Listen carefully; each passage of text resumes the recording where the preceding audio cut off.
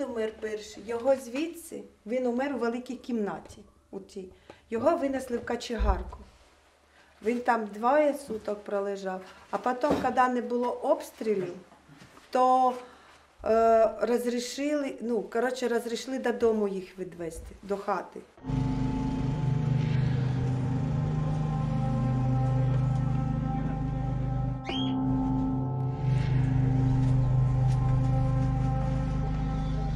Оцих трьох успіли, оцих двох дідов і жінку успіли положити і закопати, а рядом була ця, що положили оцього мужчину і оцього хлопця.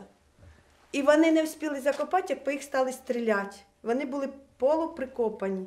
Потім умерли в нас слідущі ось люди. Їх положили в ту яму, яка була не закопана. Ой.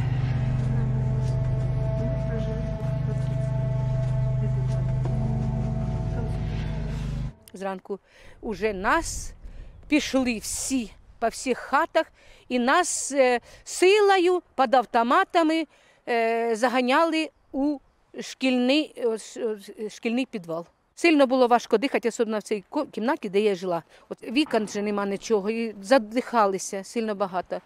О, дуже важко було, звісно.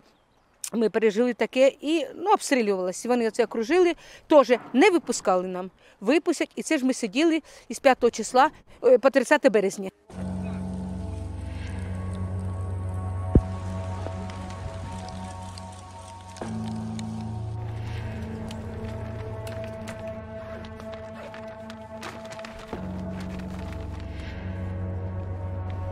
Розслідуємо факт вбивства двох цивільних осіб.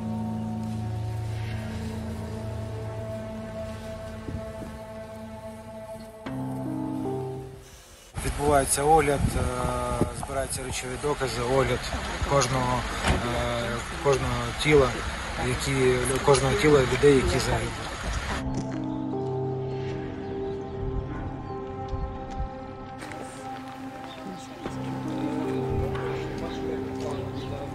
Ніколи не зможемо ми цього забути. Те, що ми тут бачили, тобто вже ці кадри вони залишаться на все життя тут в пам'яті. Будь-який раз, коли ти будеш тут патрулювати, проїжджати, приїжджати до знайомих, які в мене проживають там в кінці вулиці. Е, там дівчинка 4 роки і мама, з якою ми дружимо, то я буду завжди пам'ятати, що тут сталося. Навіть якщо ми тут все перебудуємо, ці спогади нікуди не дінуться.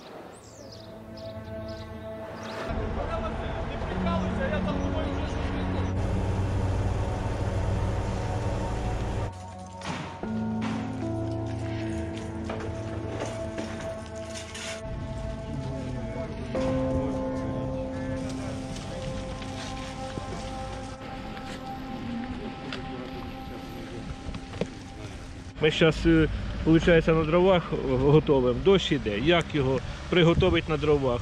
У нас так виходить, лічно в мене нема на чому навіть подогріти.